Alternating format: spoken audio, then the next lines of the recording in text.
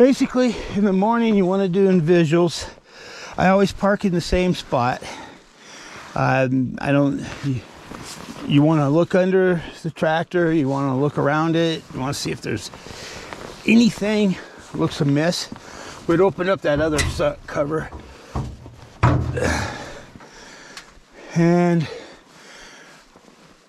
okay, this is this is your turbo. Uh, this is actually these these I've had these pop off before on other equipment, and boy, you lose power fast. But everything looks good in there.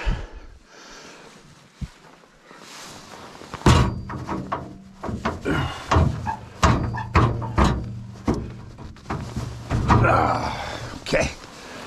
Now.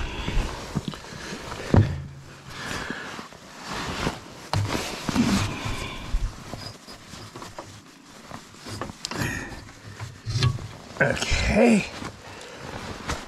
I hate this. All this dirt. It, you get hydraulic fluid in here and then it collects dirt. So I'm going to take my gloves off for this because I want to try to alleviate any chance of dirt going in here.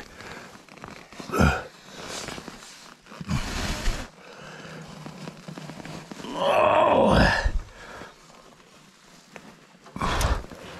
All right.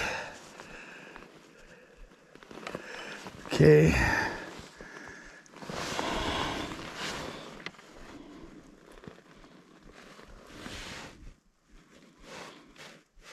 Okay, it's perfect right where it's supposed to be.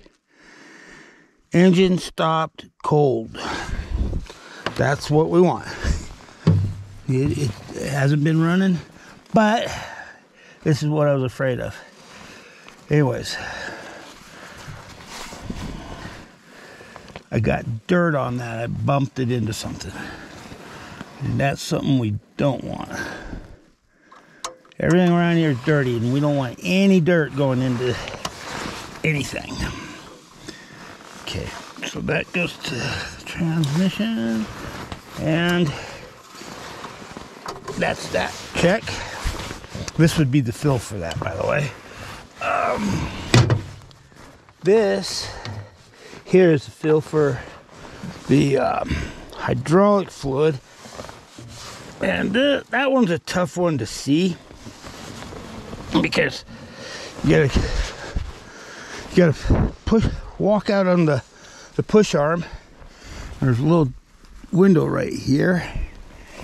And of course the liquid is clear. And there's not a float in there so basically what you gotta do is you gotta look right there you see at the very top of the green you can see where that fluid is so hydraulic fluid is great. All right, well, ladies and gentlemen, it's time to go blow out the filters.